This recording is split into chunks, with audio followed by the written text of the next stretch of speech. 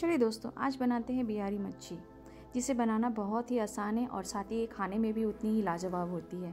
तो इसे बनाने के लिए मैंने नमक और हल्दी के साथ फ़िश को पहले फ्राई करके निकाल लिया है और साथ ही फ़ौरन में मैंने यहाँ पे थोड़ी सी सरसों डाली है।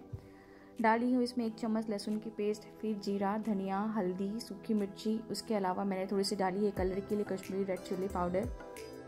जब मैंने टमाटो डाली थी तब उसी वक्त मैंने नमक डाल दिया था ताकि टमाटर जो है बहुत अच्छे से गल जाए।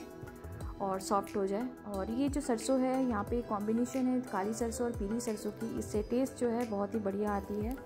बहुत अच्छा फ्लेवर आता है। और जो ग्रेवी यहाँ पे मैं थिक रख रही हूँ, आपको कैसी ग्रेवी पसंद है वो अपने हिसाब से पानी डाल सकते हो।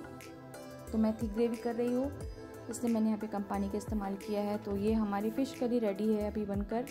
आप लोगों की ये रेसिपी कम, कैसे लगी मुझे कमेंट करना। नेक्स्ट टाइम में फिर मिलती हूँ कोई नई रेसिपी के साथ। तब तक के लिए, टाटा।